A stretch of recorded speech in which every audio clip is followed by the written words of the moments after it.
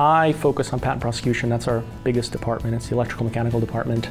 Um, so anything uh, computer or mechanical related, electricals, anything like that, uh, we handle. Um, and we do a wide variety of technologies within, within that sort of realm. So academically, I think the school was, was very good. It had a lot of um, great professors, um, renowned professors in the fields, and again, especially in the IP field, and that was really what I was interested in.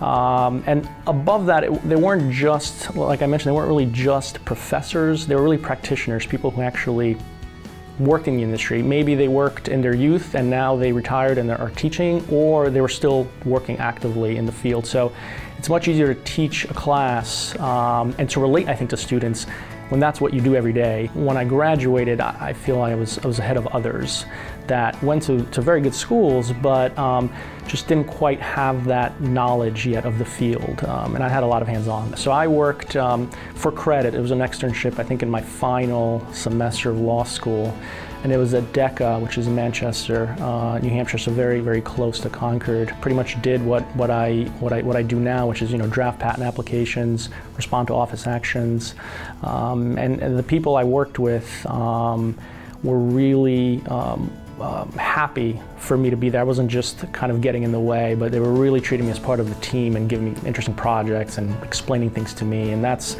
uh, I think invaluable, especially at that early stage in your, in your career to have that. The name of UNH Law and Franklin Pierce stand out in the IP community. And that, um, usually that opens doors and that, you know, people listen. Uh, because they know that you're, first of all, they, for example, in the IP field, they know that, well, you're very interested in IP because you went to a, a mainly IP school that focuses a lot on IP. So they know you're serious about the field, you're not just testing out waters.